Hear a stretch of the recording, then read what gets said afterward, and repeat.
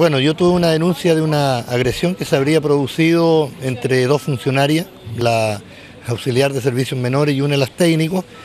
Eh, nosotros tomamos la decisión de desvincular a ambas profesionales de, del jardín respecto al trabajo que ellas realizan.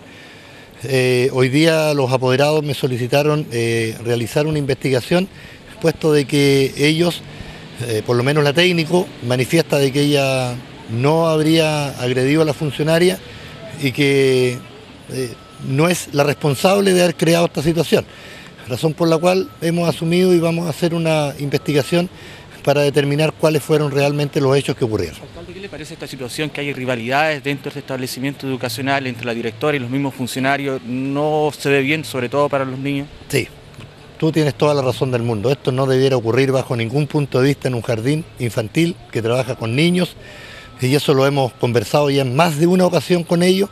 Otra de las medidas también es de que vamos a, trasladar a la directora del, jardín, a ver si otra persona puede lograr conciliar los ánimos y trabajar en forma mancomunada, que es lo que siempre debiera hacerse al interior de cualquier organización, más aún en una tan sensible que trabaja con niños.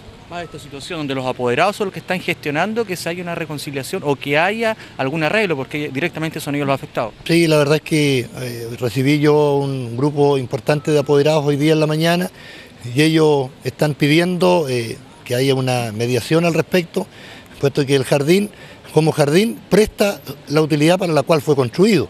Pero lamentablemente hay dos o tres funcionarias que lamentablemente a la fecha aún no han querido entender de que lo que tienen que hacer es trabajar. Simplemente eso.